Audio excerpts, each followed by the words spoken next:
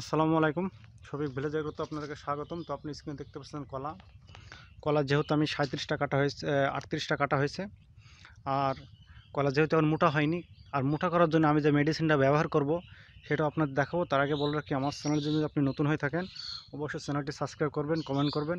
আর video যদি আপনার আমার কথাগুলো যদি না বুঝতে পারেন, আপনারা কমেন্ট করবেন। তো আপনাদের আমি বুঝিয়ে দেওয়ার চেষ্টা করব।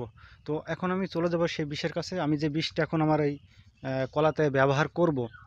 আর কতটুকু না ব্যবহার করব সেটাও আপনাদের জানাব। চলুন আমি সেই বিষের কাছে চলে যাই। আর এটা কী বিষ সেটা আপনাদের বলব। এটা হচ্ছে জেস্টার পিজিআর, এটা হচ্ছে বাজারজাত করেছে স্কোয়ার। এটা হচ্ছে আড়াইশো মিলি। এটা প্রয়োগ ক্ষেত্রে কিসে কিসে ব্যবহার করবেন সেটা আপনাদের বলে দেবো। এটা হচ্ছে আপনার কলা, পেঁপে, টমেটো, মরিচ মানে ফসল জাতীয় মানে ফুল জাতীয় যেসব ফসলে ব্যবহার করতে পারবেন। এটা দেখা যাচ্ছে আপনি শসাতেও ব্যবহার করতে পারবেন, টমেটো ব্যবহার করতে পারবেন।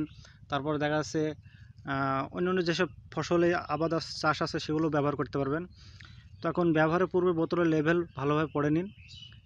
স্টার পিজার একটি প্লান্ট গ্রোথ রেগুলেটর, যার মূল্য, যার যার মূল উপাদান হচ্ছে চার সিপিএ বা চার ক্লোরোফিনিক্স অ্যাসিটিক অ্যাসিড। ইহা ফসলের জৈব উদ্দীপক হিসেবে কাজ করে। আর স্টার পিজার আপনার কেন ব্যবহার করব? বা কেন আপনি বা কেন ব্যবহার করবেন সেটা আপনাদের একটু বলে রাখি। ইহা গাছের বৃদ্ধিকে ত্বরান্বিত ও ফল করে এবং ফসলের গুণগত মান করে ফলের আকার বড় ও মসৃণ করে, ফলের সংখ্যা বৃদ্ধি করে, সর্বোপরি ফসলের ফলন বৃদ্ধি করে।